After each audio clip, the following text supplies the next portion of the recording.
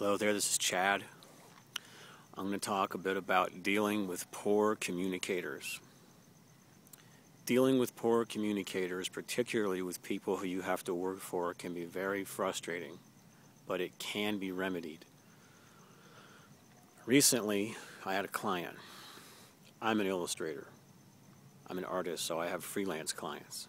I've done this for years. I work and live in Hollywood, California. I've worked in the film industry. I've worked in several different sectors of the film industry. And in general, I've had to handle all kinds of people. Particularly of note are people who are difficult to deal with.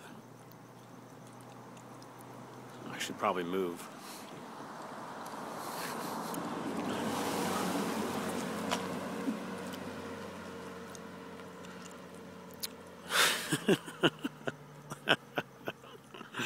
okay.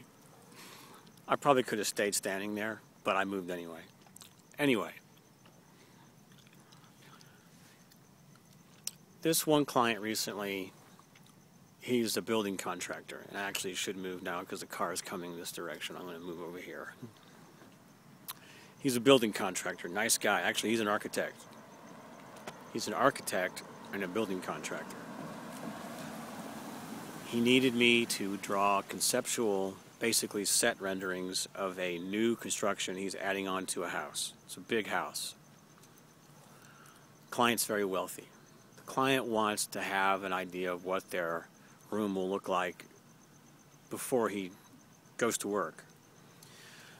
So, not normally versed in terms of architecture or building contracting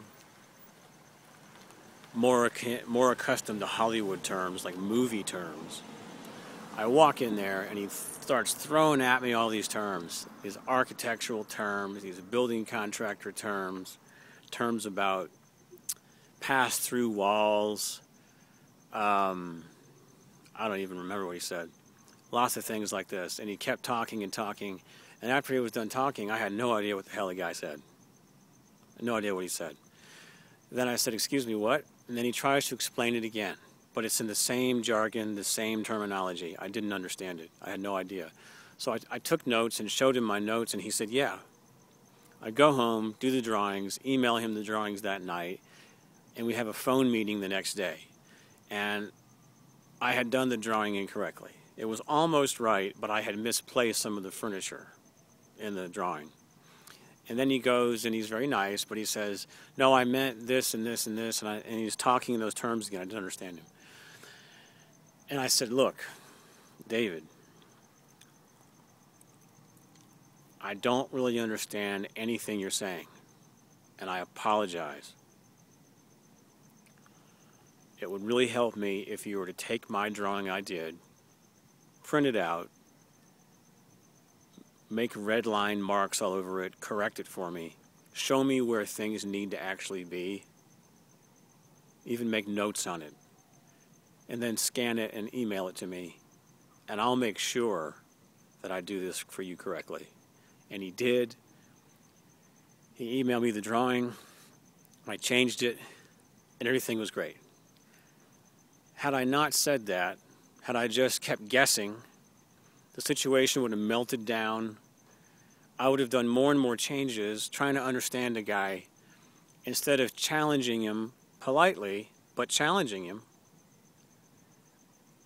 which is what you should do. Challenge the people who are poor communicators. Otherwise, they'll make your life a living hell.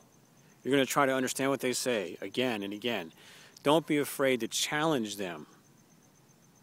Hold them accountable for what they say.